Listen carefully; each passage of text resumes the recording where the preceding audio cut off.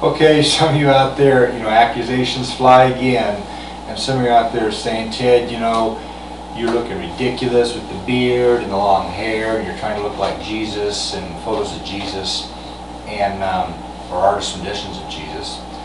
And if you notice in the face, with some artist renditions, Ted does look similar to Jesus, is of the bloodline, is of the bloodline David. The genes are enormously strong, and the genes carry.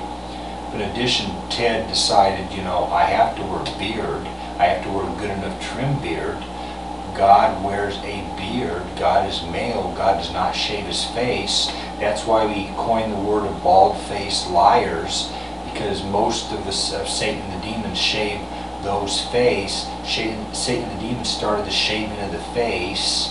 Satan the demons are those that remove all body hair from the bodybuilders and even hair under the arms you know, on men, including the pubic area, and it's uh, almost like something a female would do, or is focused more on is removing her hair.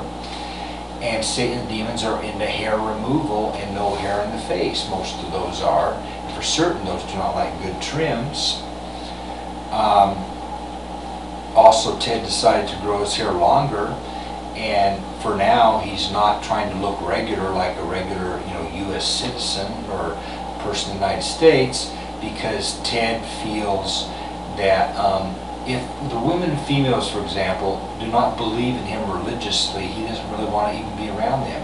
Therefore, he doesn't worry about cutting his hair short and trying to be attractive to the, and shaving his beard and trying to be attractive to the regular, you know, American women to females.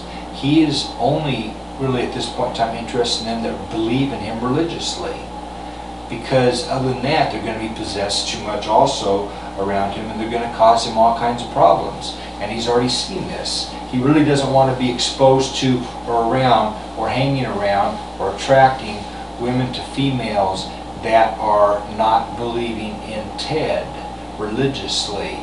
This is really how Ted feels now while under the control of the host. The host are helping Ted to feel this, that Ted is not trying to look regular or be regular or look like a regular American man, okay? And um, the host decided it was a good idea for him to try to grow the hair out long and look similar to um, past um, artist renditions of him on a previous coming, and he is.